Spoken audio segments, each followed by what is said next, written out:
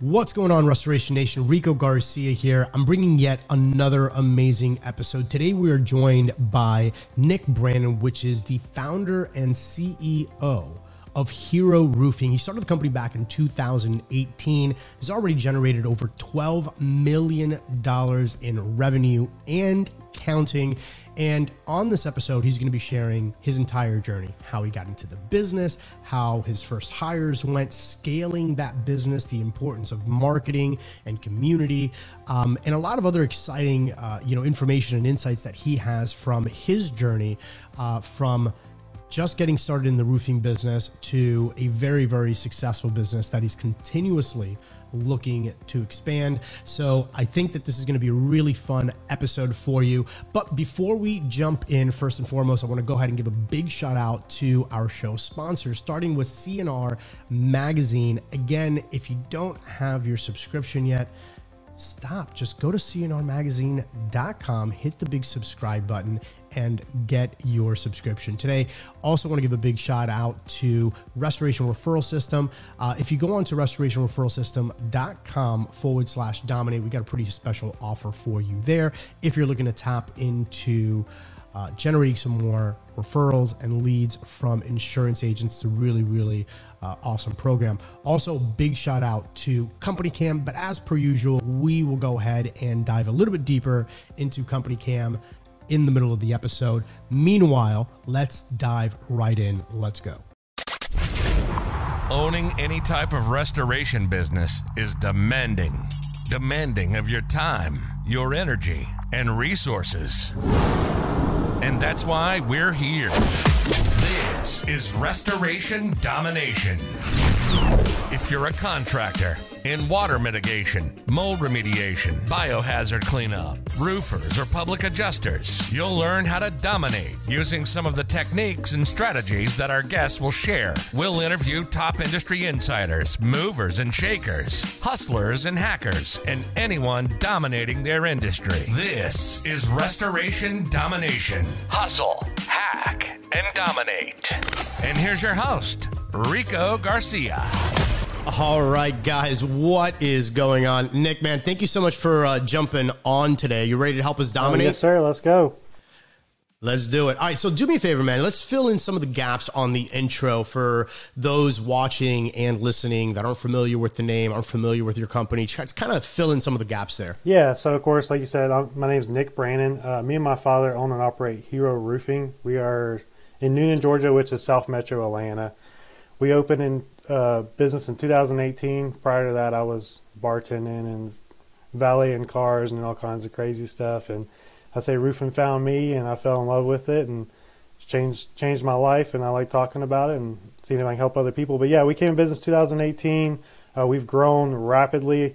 Uh, we've now hit just over $12 million in sales since day one. So this last year, 2021, we closed at 7 million for our company and we have a goal next year or this year now, 2022, to do 12 million the, the full year. Right. So talk uh, to us about that journey, right? Because obviously, I mean, you know, getting to any kind of business and you see there, there's all kinds of players, right? There's the guys that are making tons of money in whatever arena. And then the guys that are just kind of like, yeah, you know, they've been in the roofing game for like 10 years, but they still aren't hitting $2 million a year right. revenue, right? So like, what, what was that initial journey like, right? To get to the first mill, two mill, like what, what did you have to do or who did you learn from to say, okay, cool, this is the stuff that I need to be doing in my business or this is the stuff that I need to start staying away from in my business. So walk us through that process? Yeah, well, we'll first say, you know, what they say, uh, you know, winners focus on winning, right? But I will say I, I like to look at like some industry leaders in, in our community, not just our market, but in the roofing community. So a lot of the, a lot of the bigger guys I would keep up with and see what they're doing, like Apple Roofing and Monarch Roofing, and see how they would market and brand. But starting out day one, you know, no one really knew who our company was, so I generated business, of course, you know, door to door. I was knocking doors all day long. My dad would actually drive. He'd drive me to the house. I'd jump out, knock on the door, get in the truck. We'd drive to the next house. We would do that until, you know, we were established in business. A lot of Facebook, you know, posting consistently on social media, uh, Google My Business, you know, just basically just trying to hit every avenue of marketing we could to start establishing, you know, our brand. And then that's that, and then once we started establishing our brand, we started focusing on growing and you know really growing that brand and dominating like our market. But uh, when I started out, that's what I looked at too. I looked at the guys that were in our in like in our market in our industry, like the big guys. There's like two or three really you know bigger companies that get majority of the business. And I saw what they were doing, and also what they were doing not so well. You know, like they didn't have they don't have they didn't have as much reviews on Google. So I'm like, I'm gonna get more reviews than they are. You know, they weren't posting as much on social media. So I'm like, I'm gonna post more than they are and just started to slowly surpass those people. And now I, you know, I'd like to confidently say I have surpassed those those guys. So, but like you said, a couple of them, uh, one of the guys, I mean, he had been in business since 07, and that's one thing I saw. I didn't see much any growth out of him, you know. But I think in this industry, people start making good money and they kind of get complacent too. You get to a certain point and you're like, oh, wow, okay, cool. I'm making X amount of dollars, you know, bills are paid, I'm okay. And then you just kind of coast and they don't, they don't stretch themselves to, to that next level. I mean, that's one of the topics that we talk about all the time is about, you know, what it really takes to get to that next level, right? Because once you get comfortable, I think there's a fear factor that gets into a lot of people's heads, right? It's like, man, you know, if I stretch this too much, am I going to break right. it? So, whereas you, you just kept on going. Now, talk to us about the whole marketing thing, because I know that, that one of the big advantages that, you know, the roofing industry has is you can just basically go out, knock on doors, and you can take your product to the masses, right? You could just, as long as you have, you know, the thick, thick enough skin to where the nose don't affect you, and you can take a smile to the next door, um, you're okay. You can drum up some business pretty much anywhere, right? But let's talk about like more the the social media stuff that you were doing, the posting. Did you notice that that had a major impact in your business and the overall branding and how the community was responding to your business? Oh yeah, definitely, man. Because at the time, like I was one of the guys in our area that was on social media the most. You know, some of the other roofers would barely post once a week, and I was posting every single day. But then also, and this is just like a nugget for a lot of industry leaders. It doesn't matter if it's restoration or roofing. Is there's so many Facebook groups like for your communities. So like in our community, we have a Facebook group it's got like 30,000 people in it. And so someone will post, I'm looking for a roofer. And at first it would just be me going, hey, call us at Hero Roofing. But now we got customers that will post on that for us. And so, like, you know, again, it was turning all, all those clients into like raving fans that are kind of like supporting your business and helping you sell. Like when you do a good job with a client, like they'll help you, they'll help, they'll sell your business for you, right? Um, but I mean, yeah, I would post every day. I'd you know, friends and family would share it. I'd make all my posts public. So whether, you know, if I was holding the camera and doing like a selfie video, just talking about the warrant, the roof we're putting on in the you know behind me and the and the warranty the customer's getting. You know, I'd put that on you know whatever it is. I'd put on social media and I'd try to post at least once a day. And it's, it would just cause it would just get traction, you know, because you know me alone, you know, I got two thousand friends on Facebook, and then if I can get ten of my friends to like it and share it, you know, it's catching their audience as well. But I was real big with the Facebook groups. The Facebook groups helped me out a lot. Right. Are you doing any kind of like paid uh, ads when it comes down to social media, whether that's you know on Facebook or Instagram or you know any other channels? What outside of the door knocking yeah. aspect, like what what's the biggest channel that, or maybe your favorite channel to advertise on? So before, you know, up until like I would say really up until like this past year, I used to just randomly boost posts and I think I've talked to you about this too, and they work a lot. So now we've hired roofer marketers. These are SEO, and so they're doing Facebook and Instagram ads for us, and we're having a lot of success with those. Um, but our majority of our business, like if I ran an if I ran like a sales report or a lead source report, the majority of our business is either door knocking, internet, or referrals. Internet and Facebook, so it could be like a Google ad or you know someone heard us on Facebook. But yeah, I mean social media and door knocking and referrals is the majority of our business. And of course, we do right. have a lot of other stuff. Like we know we're, we got a, we got two billboards now. We're on two radio stations. But when I look at different things, you, you look at it versus marketing versus branding. You know, you can't go on a radio station and expect to get ten calls a day. But what you will right. expect is thousands of people to hear you, and then when then they see your sign, and then they may call you. You know.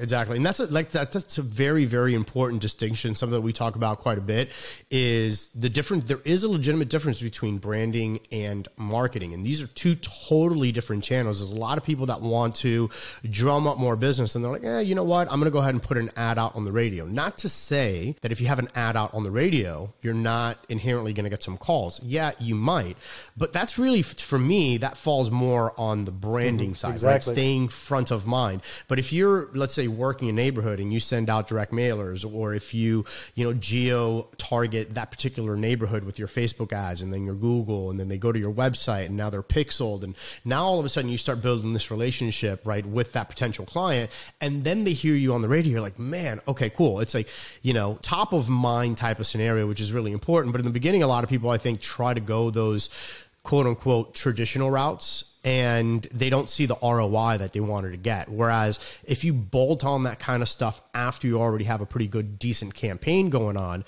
that's where I think you see the, you know, that next bump in business. Exactly. I mean, what are your thoughts no, on that? I totally agree, and I always tell I tell this to a lot of people is you have to market before you can brand. So you got to do the stuff like you're talking about. You have to door knock, post on social media, put a yard sign out at every job. We just started doing uh, automated direct mailers this year. Those are great sources, sending out mailers to neighborhoods you're working in. And then as like you start establishing business, and then do the long term branding st- style of, of things like putting a billboard up and you know being on the radio. Because again, you know that's that's just where you're keeping people in your mind. Like if you were like again talking about our lead source report, I think we've had four calls that where people called us this year directly off of the radio. But I have friends and family all the time that tell me, "Hey, we hear you guys on the radio," so I know like it's being heard, but I know it's not going to cause a direct call. But knocking on someone's door will get you direct business. You know, that's to me the fastest Right. source to selling a, the, the fastest way you can sell a roof, and I think in the roofing industry is to knock on someone's door. And so that's such a huge advantage in you guys' Oh, yeah. business, right? It's just that being able to go out and just knock on the door and say, "Hey, by the way, I've got this. I can solve this issue for you." I mean, I've always been huge on being if you have a product and or service, if you have the ability to go directly to the consumer and be like, "Hey, by the way, let me make you aware of this potential issue that you have and we can fix it." Like that's that's phenomenal. I mean, obviously, you know, in the, in the restoration side for us, water mitt, mold mediation, stuff like that. I mean, yeah, sure, you can try to knock doors, but I mean, what are the You guys got a pipe burst in there? What's going on?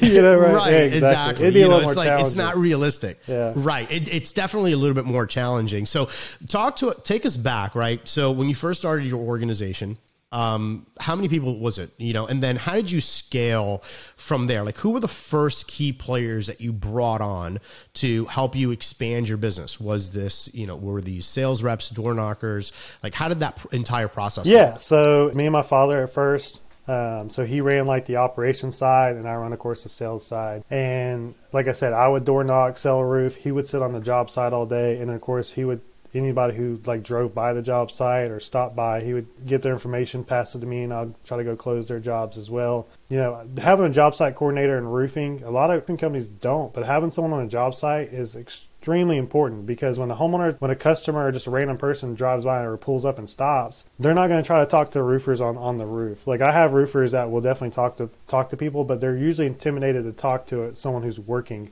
But if you got someone supervising out there, like then they can get their information and you can create more business, right? So, you know, paying somebody 15 bucks an hour or $150 a day to be on your job is actually going to create more, you know, a sale. It's not to it's not to be an expense to you. A lot of people look at it like an expense like, "Oh, that wasted money having someone on the job, so I don't need anybody there to crews run themselves." They do, but having a coordinator is important. But yeah, he'd be on the job site and as we started to grow, uh, the first two people we hired, like pretty much two guys, like the same month. His name's Stone. It's Stone and Austin, and uh, Austin I think is 21 now. Stone's 24, 25. I hired Stone from real real estate to do sales for us, and I hired Austin to be a job site manager. So he would job site me. Uh, he would supervise me and me and Stone's uh, jobs. And while he was on the jo- job, he would go and door knock, and because he really wanted to be in sales, and he didn't have any sales experience, so he'd go and door knock on, on you know at the on build days and started selling stuff, and he slowly turned into a sales guy. So those two guys this past year were, you know, they both sold about 1.2 million dollars. Um, so they've grown tremendously over the past couple of years, of course. But yeah, they were our first two hires, and then we hired a office assistant, and then of course brought on a couple of other crews. We went from doing one roof a day to doing two roofs a day, and now we try to do three roofs a day.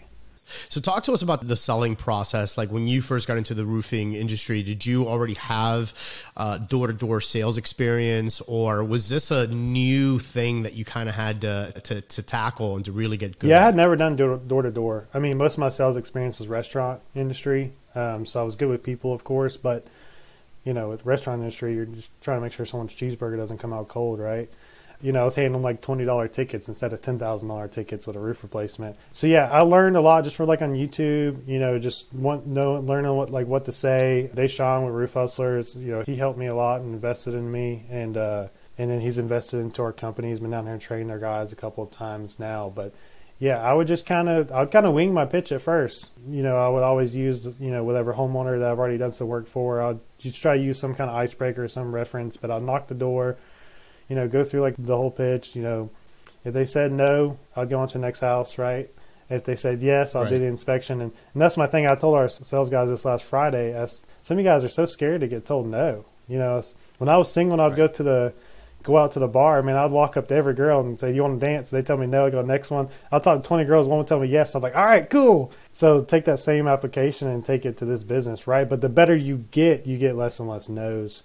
Um, so it's very right. important. You know, I think it's a numbers game, but you also want to like improve. You actually improve yourself and actually know what to say at the door and have that mental fortitude, mental toughness. But so we'd perform the inspection. If it's an insurance claim, I'd come down, try to get them to sign a work authorization form and file the claim with them, meet their adjuster, and then from the time the roof gets approved, we're usually since I've started business, we have always been about two weeks out on roof replacement. So no matter how busy we've gotten, that's why we try to bring on more crews. We've always stayed two weeks out. Homeowners always love that, where we're not building the roof two months down the road. You know, they give me a right. deposit, they go on schedule. We'd complete it, close them out, give them their warranties, ask them for a review, um, make sure they're extremely happy, and then try to move on to the next client. You know, it's all for us. It's about turning and burning the customer, and ext- but at the same time, like they're only in our we try to have them in our process our pipeline for as short amount of time as possible. But why they're in that pipeline trying to establish the best relationship we can with them so five years down the road they still know who we are. So what was when you were doing selling and you know you're new to the game and whatnot what was the the hardest objection for you to initially overcome?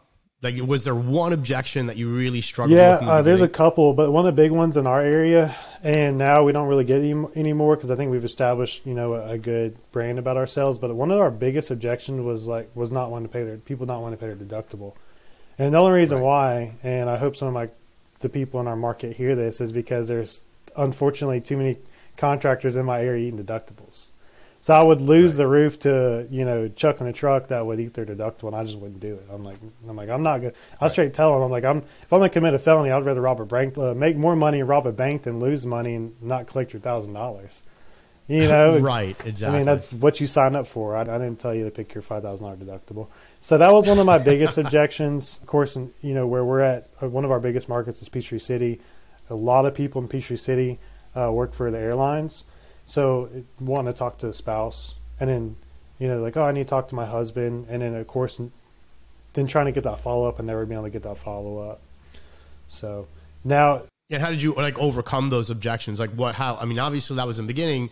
Now, typically, when you're having these same objections, you're coming from you know from a totally different place and you've got a lot more confidence you've got a lot more wins under your belt. And i'm sure you figured out hey this works this doesn't work. So like what's what, what are some of those rebuttals look like? Yeah so with the deductible it was really about just informing the customer and providing the value to them. Say hey this is why you pay your deductible but at the same time this is what we're doing to your home. A lot of what we provide like an architectural upgrade for free. So a lot of times we're replacing three tabs. So yeah you're paying a thousand dollar deductible but i'm putting you know, more than a thousand dollars of value back into your house. You know, so I would explain that kind of things to the homeowner.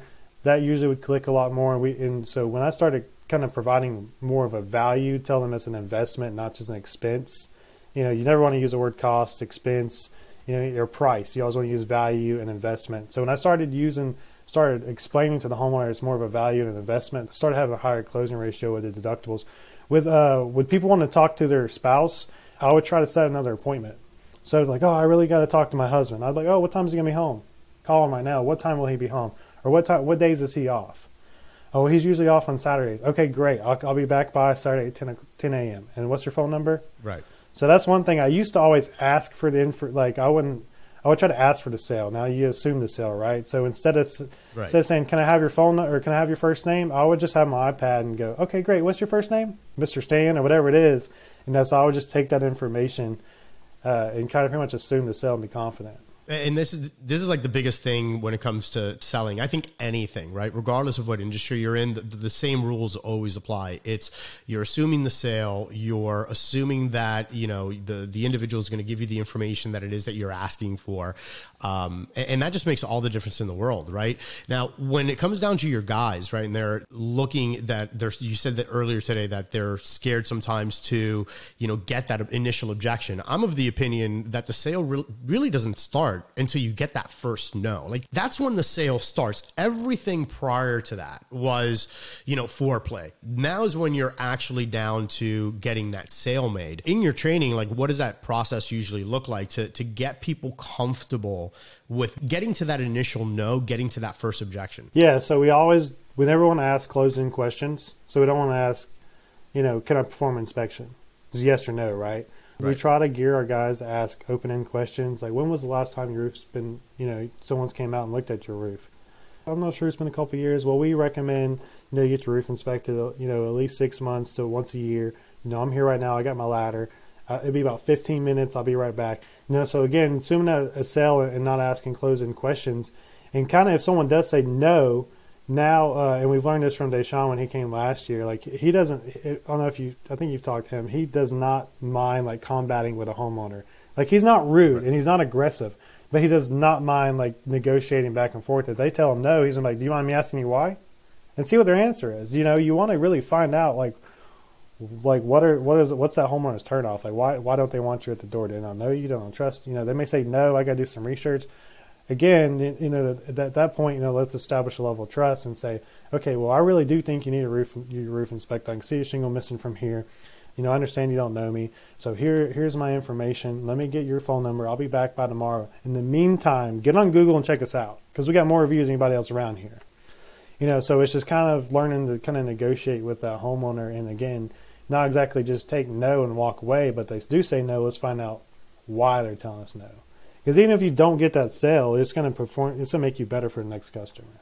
Absolutely, absolutely. And then also, like one of the mental tricks that I always like to use is to associate a value with every single right. no, right? So even if you were to go ahead and take your top producer and you say, okay, cool, well, they generated X amount of top line revenue and their commissions for the year were X amount, right? How many doors did they knock? How many times did they get a no? How many times out of those, you know, doors that they knocked did they actually close a sale? And you can break it down pretty, pretty damn accurately to where you actually have a formula.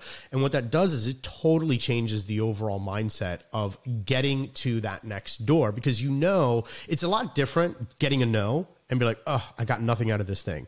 Whereas you got to know and you can put $150 value to it, let's say. Like that, that changes the entire game because that no is just a stepping stone to get you to that next, you know, prospect that ends up saying yes. And what I've noticed, especially when you're, when, when you put it in perspective like that for a lot of salespeople are like, oh, yeah, you know what? You're absolutely right. And it just changes the overall energy in which they approach that next door. You know, something I told the guys is you don't really ever know what what happens when a homeowner closes the door.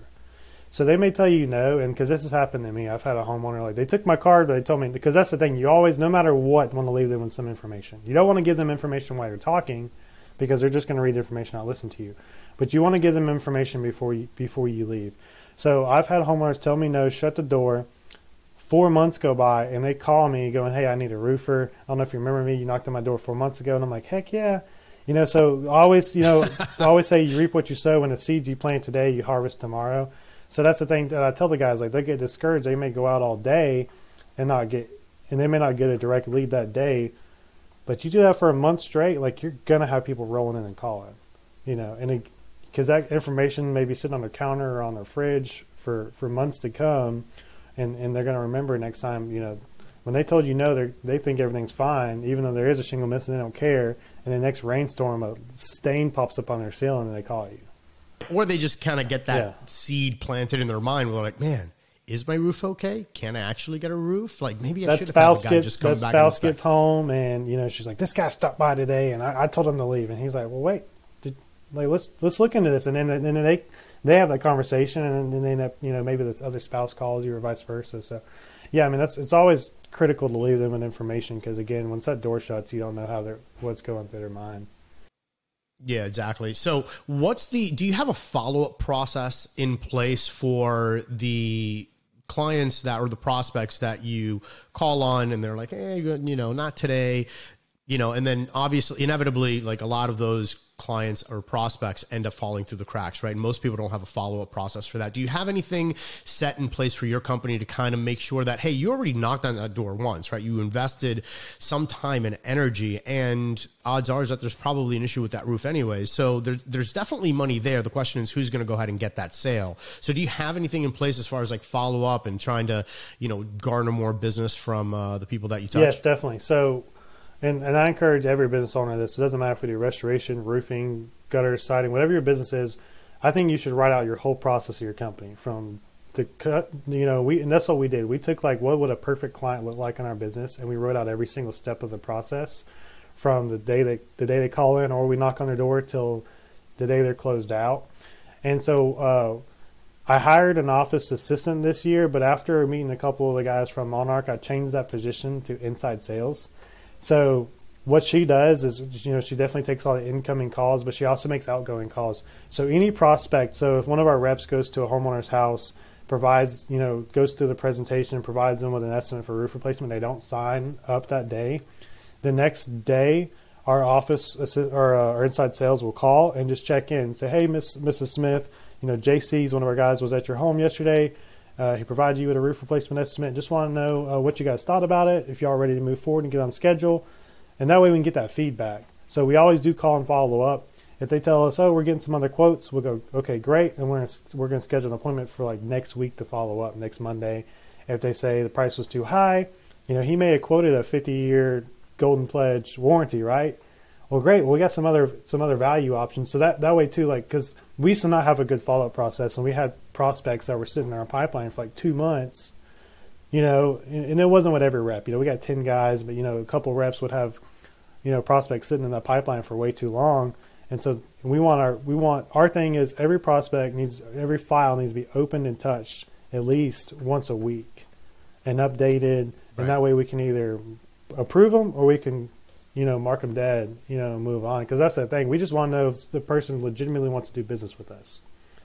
If right. they don't, like for me, when I got 290 prospects, like if I can either move some to approved or mark them dead, like it, like it's a wet off your back. It makes you feel better and it makes you a little more organized, and you can focus on the on the real clients on hand.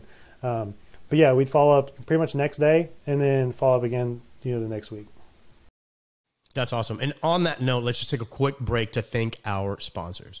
Photo documentation is possibly one of the most important aspects of what it is that we do in the restoration business. Not only so that the client knows exactly what's going on, but also so that you can prove your work to insurance companies. One of the best ways that I found to go ahead and document our projects is by using Company Cam. Company Cam is an amazing app. It has so many features, everything from time-stamped and GPS located photos, uh, individual project files, unlimited photo storage, in app communication with your crew, a live stream of all of your projects as the photos are coming in, as if it was an Instagram feed. So, from a managerial standpoint, Company Cam can help you there as well. But more importantly, it gives you the ability to protect your organization while documenting and keeping everything nice and neat. So, we've got a really special offer for you. If you go to companycam.com, forward slash dominate. Not only will you get your 14 day free trial, but you're also going to get the first two months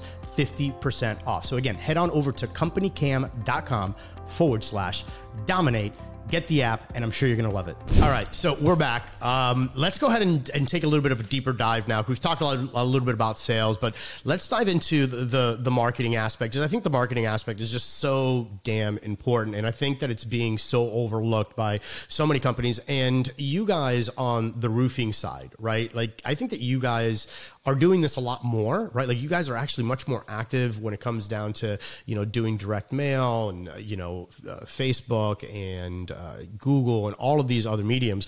For the water mit mold remediation guys, if you look at our industry as a general whole, we're really not that aggressive, um, and I think that part of it is because a lot of the people in, in the industry do program work and that's kind of a story in and of itself right? But when you have to go out and you have to hunt you know the the the the, the business uh, marketing is you know it's the the key. It's the one thing that can definitely move the needle. So you know looking at your business now um, and we talked a little bit about this but i'd like to take a, a deeper dive. Um, when you're doing Google Ads, right, or you're doing uh, direct mail, let, us talk about those processes first. Um, direct mail, every single time that you hit a neighborhood, are you doing direct mail it, to those neighborhoods to stay front of mind, or are you doing direct mail first in a neighborhood that you want to attack, let's say, a week or two weeks from now? So every now and then, if a storm hits a certain area, or we know that neighborhood's getting older, we will blast some mailers out. But usually, when we blast mailers like one time, we don't get a lot of traction what I've started learning, right. like with using dope marketing, is uh, we got it automated now. So if we get a roof a roof replacement sign up in a neighborhood, we will send out mailers saying, "Hey, you know, mailers will go out before the roof schedule and say." We, we will be working in your neighborhood. It may have a picture of that house that we're going to be doing.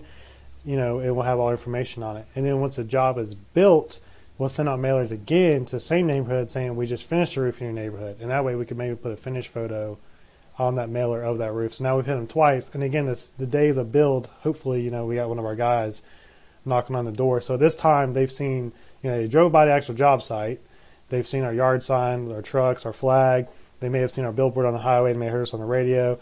And then they got their mailer at their mailbox and we knock on the door. And so it's a lot easier to, cl- you know, that's one thing I would say. It's a lot easier for us to close door knocks because of how much marketing and branding we are doing and more importantly, man, like the guy just knows his stuff, right? And one of the things that I I firmly believe is going to happen, right? We call that kind of marketing like old school marketing, right? Because it's direct and it's mail, and everybody's thinking about digital. I think there's going to be a point in time to, in the near future where that's going to become the new school way of marketing, yeah, right? Because the digital landscape is going to be just so saturated, where so many business owners finally come to the realization, oh, I need to have a good Google My Business presence. I need to have Google Ads. I need to have Facebook. I need to have Facebook ads, right? I need to have all of this stuff that they're totally neglecting the power of the direct mail pieces, right? And the handwritten notes. Have you done any of the uh, handwritten? We haven't notes, done any of those uh, yet. We were going to do them for Christmas, and I was traveling a good bit, and uh, but those are super super cool. He's got like a machine, like he writes it for you. It's yeah. really neat. And I will yeah. say one thing I forgot too is he's actually going to be given like the information in neighborhoods, like Dope Marketing's, and give the information from those neighborhoods over to our uh, roofer marketers, our SEO guy, and so they're going to be sending out Facebook ads to those neighborhoods off off of the same information of the direct mailer. So that homeowner is also getting a right. like they're we're going to be on their Facebook feed too. Um, so they should see Hero like a couple of times, at least you know I would say at least twice before we even knock on their door. You know, Right. Um, if, and then if, again, if we don't, if we do miss that door and we don't knock on it, at least they have gotten our information a couple different times. Exactly. So that's on on the uh, you know the direct mailing side. Uh, Facebook is one of those things where a lot of some people either love it or they hate it. Right? There's there's really not a whole lot of in between. And uh, the people that hate it, obviously, it's because they they haven't really been able to trace back a direct ROI, right? Saying, hey, you know, I'm spending X amount of dollars a month on Facebook and Instagram, and you know, I'm not I'm not making my profit back. So, what are you guys seeing on that front, and what's been working well, and what do you recommend for like other roofing companies or even mitigation companies, right, on how to properly you know implement Facebook as part of their campaign. So strategy. I will say one thing that our SEO guy is doing with our Facebook ads that he's doing, it has a link. So they're clicking the link and it's taking them to fill out, you know, pretty much a, an inspection thing where they we you know the lead I guess a lead form is what they're filling out. But right. whenever a customer calls in, you know, one big thing that you know our office asks is how'd you hear about us? And they're going to say Facebook, but they're not going to tell you if it came from a Facebook ad or a friend, or they're just going to say the word Facebook. So that's why we just know to invest into Facebook as a whole. You know, whether it's an ad or it's our, po- our own post or if it's you know friends and family sharing our sharing our social media or whatever it is. But because it's the same thing with Google. You know, when you call in, they're gonna say, "Oh, I heard about you from the internet." How annoying yeah. can you be to that customer? Okay, great. What search engine? Did you click? Did you click Google, Garrett? You know what I mean? Like, where'd you click? Right. You know, so we just try to get that general information and know that like we do get traction from Google or we do get traction from Bing we are getting traction from Facebook, but uh, they do have direct links on, on our ads. So we do know if they fill it out from that direct link that it did come from that ad. So that's really cool. Um, one of the things, and I think that this is an issue that a lot of business owners have, right? So they've got all of these different channels that you're marketing on, and it's very, very difficult to actually trace back where that deal came from. So for example, you know, maybe, you know, they can say when you're office rep picks up the phone and says, Hey, by the way, what did you hear about us? They say Facebook. Yeah, but two weeks prior to that, what really captured their attention was the flyer that yeah, exactly. Out. And they're actually doing that. So one of the things that, uh, you know, I, I recommend highly is like tracking numbers for any and all of yeah. pieces of, of your of your of your business. And I, I mean, to me, that just seems it's it's a lot more to handle right? Because you've got, let's say, your company wrap you know on all your vehicles like that's like your main number right?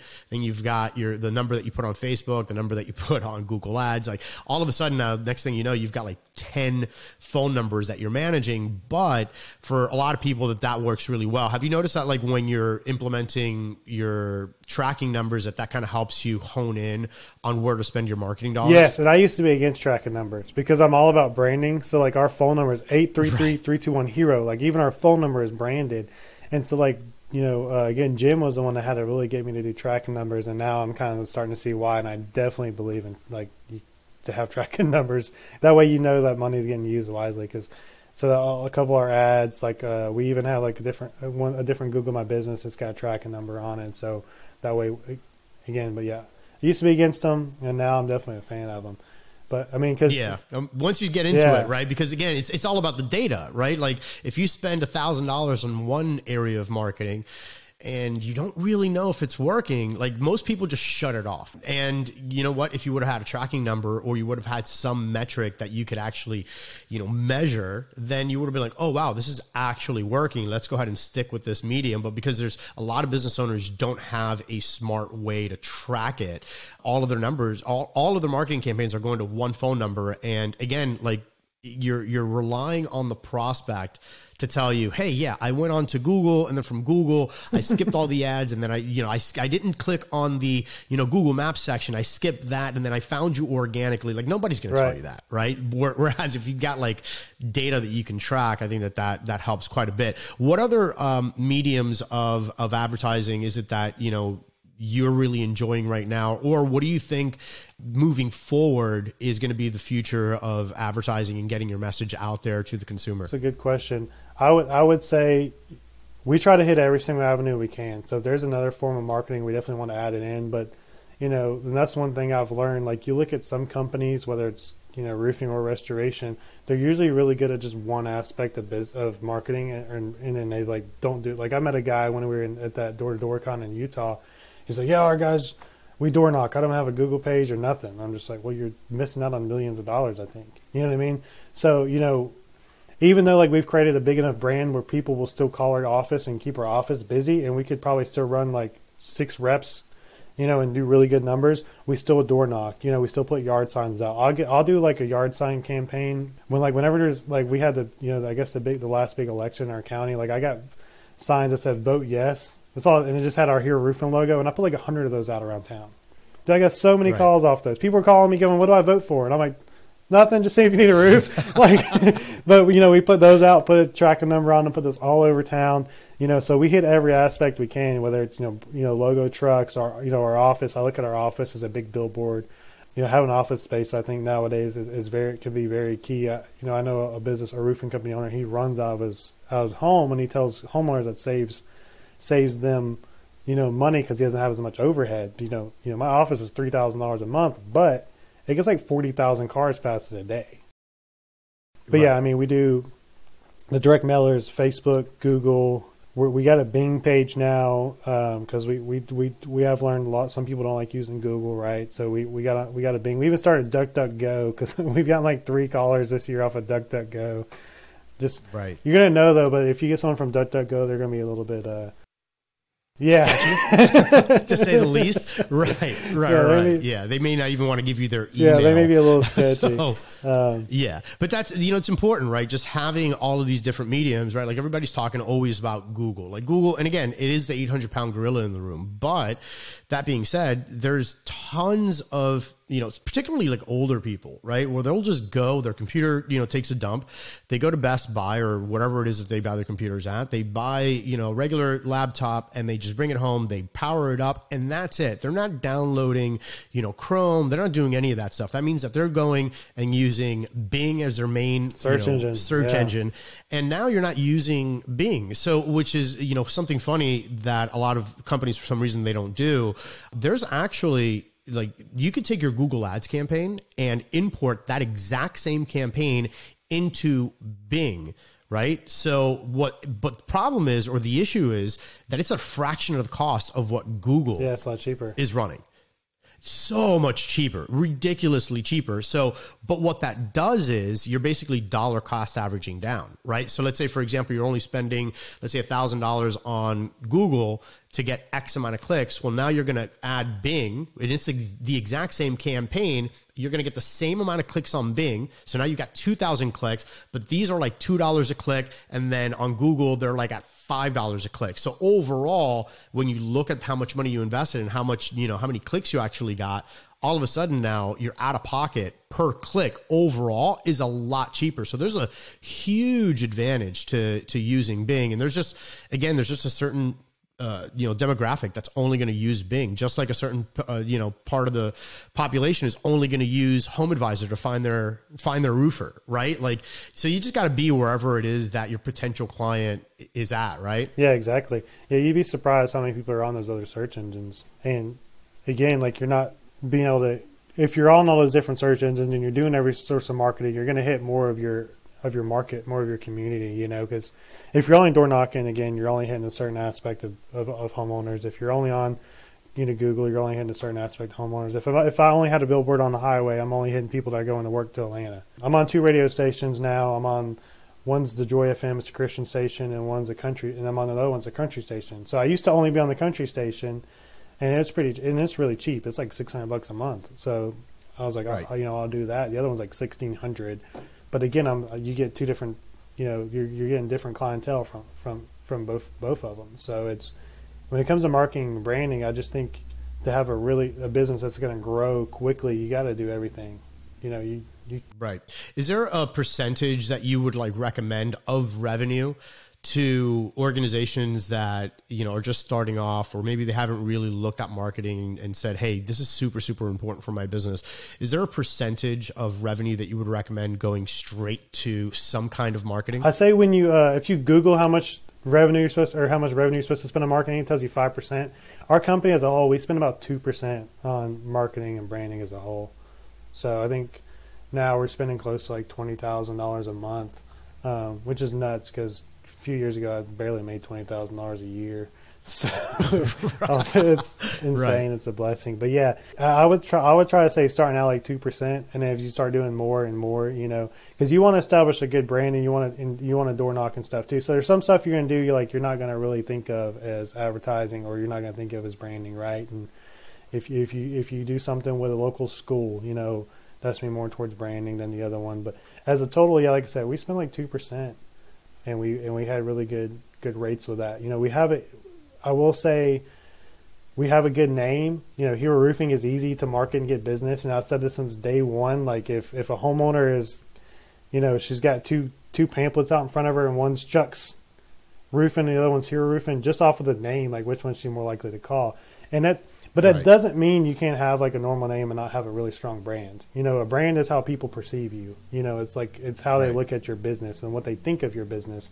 And so, like when we wanted people to look at our business, we wanted them to think like we're heroes in our community. We're helping them day in and day out, and that's what we we push on all of our reps and all of our employees, our office manager. It doesn't matter if it's from eight to five. Once at five o'clock, and you leave, like if you still got hero gear on, like you should still act like a hero. Someone, you know, if you got an old lady walking behind you in the store, open that door for her because again, that's and it, it, when you think about it, that's branding right there. Like opening the door for doing Right. a gesture for somebody, you know, is doing something nice. I mean, even if your roofing company is called Smith's Roofing or Smith's Restoration, like how do you want people in your community to see you? You know, and that's what you need to Right. kind of gear your business towards, and that's what's going to make money is gearing towards your business how you want to be perceived.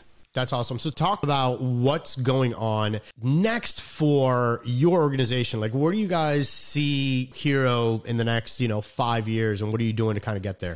Yeah. So, um, you know, my biggest, I'm very goal oriented, right? So at first, you know, like when I first started business, our goal was do a million and double, double, double. So, our, you know, and then our, our goal was to dominate our market. And if you ask our supply chain, that's you know we're we're the biggest purchaser in our or our supplier in the area. So we have worked really hard to dominate our market right here in South South Metro. So over the next five years, I want to be the biggest roofing company in the state of Georgia. You know, I, I, I look at people like Apple and Monarch and those big companies, and like like I just like I got goals and dreams to kind of grow my brand that way. I think if you're a roofing company owner, this kind of goes back to what you were saying in the beginning, like the fear of success. I also feel like you're kind of being selfish when you don't grow your brand. Because with me, like if I'm able right. to grow, it's not really about the revenue for me. It's about being able to give back to other people and help other guys. Like I got, you know, talking about Austin again. Austin came from working. He was in the Marine Reserves and working at Lowe's, and this past year he made one hundred eight thousand dollars. You know, I got production manager that worked at Lowe's for years, and again, able to provide him a, a something that he loves to do. You know, so I think if you if you have something great and you don't grow it, you're selfish. You know, so that's my goal is like I right. know we have something great here, so I want to grow it and expand it, and I want the hero name to be pretty big and not in long term, not really just in roofing. We look, we're looking into eventually getting into doing solar, and then possibly maybe even having like a restoration side one you know down the road as well.